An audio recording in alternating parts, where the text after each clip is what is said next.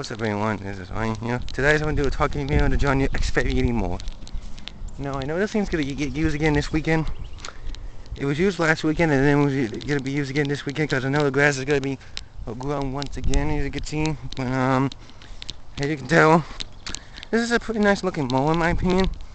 And you can see she does actually works out complete, completely on this machine here exactly because you know how I expected this machine exactly because you know how I expected this machine exactly, but it does the machine like this. There's nothing wrong with it, it's just because how much I expected. I am wearing the John Deere hat as you can see, but um, it's really how much I expected this machine exactly because you know I expected it because um, ever since you see, I did not use the deck wash on Sensitive because I don't know if it's probably gonna get it rain again this this weekend or not, but I don't. Mm, mm, you see, but um. Well, I mean, first of all, this is a pretty nice looking mower in my opinion. You can tell it does a very good job in my opinion.